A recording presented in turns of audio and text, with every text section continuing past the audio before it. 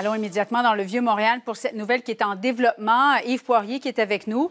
Yves, euh, des coups de feu qui ont été tirés sur les bureaux d'Émile Benamar. C'est le propriétaire des deux immeubles incendiés dans lesquels neuf personnes sont décédées.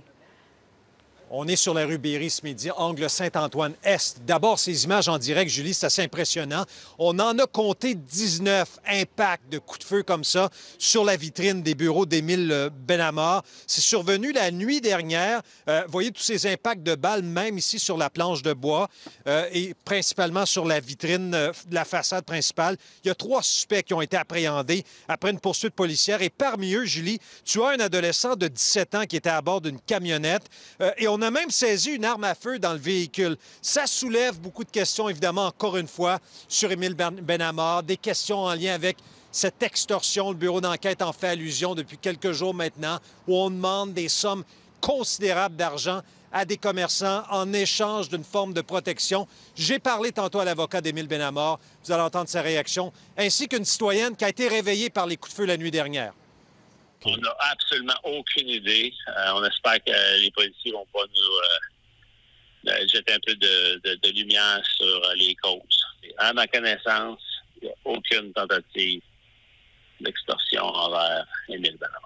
On s'est tous réveillés parce que c'était long, c'était des coups de feu assez, euh, assez nombreux et ça a duré quelques secondes, mais c'était assez fort.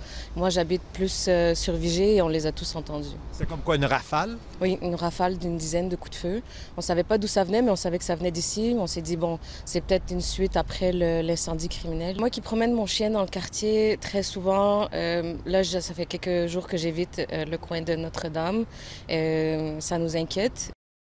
Bon, Yves, parce qu'on assiste à une vague d'extorsion actuellement qui vise plusieurs commerçants du centre-ville.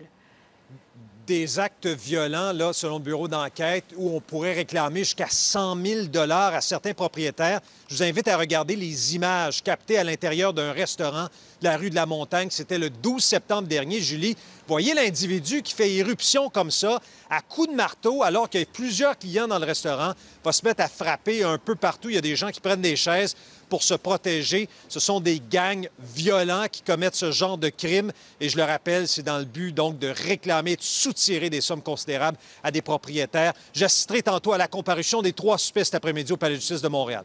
Très bien. Merci beaucoup, Yves. À plus tard.